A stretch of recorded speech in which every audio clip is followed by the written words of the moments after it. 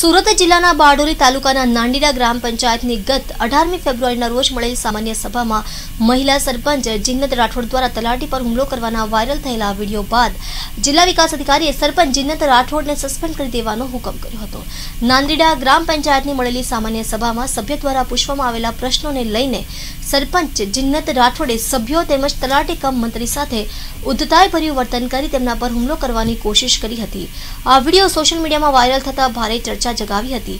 આ અંગે ગ્રામ પંચાયતના સભ્યોએ જિલ્લા વિકાસ અધિકારીને કરવામાં આવેલ ફરિયાદના પગલે જિલ્લા વિકાસ અધિકારીએ સરપંચ જિન્નત રાઠોડને તેમના પદ પરથી હટાવવાનો હુકમ કર્યો હતો.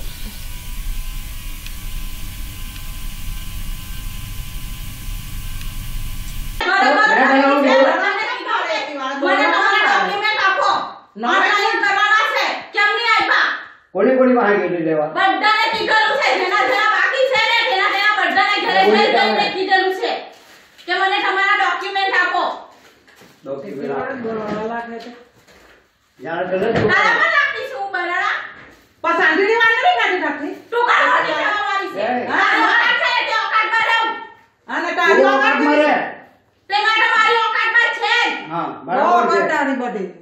જોઈ લીધી તારી ઓકાત જોઈ લીધી તે. એકી વાળે બહુ હોશિયાર હોશિયાર નંબર ને રબર તું કહે કહેતો છે કે તોય 6 લાખ આવ્યા એટલે 6 લાખ નો અહીંયા કામ થતું છે મારા ઘરમાં નથી ગલતી ને બેઠી તો એમાં લઈને કામ કોણ ત્યાં બેઠી છું ને આરે અમને- પૂછા અમને વિશ્વાસ કરો કામ કરો ના. અમારા પૂછ્યા વગર કોઈ ખરાબ કોઈ નહીં હા. છોડી મને નીકળો એક લગાઈ દેવા હું છે હોશિયાર છે બનતા હું હું કામ તમારા સહીના વગર હું કાં આપી દેવાનો હતો એજન્ડા લખીને એજન્ડા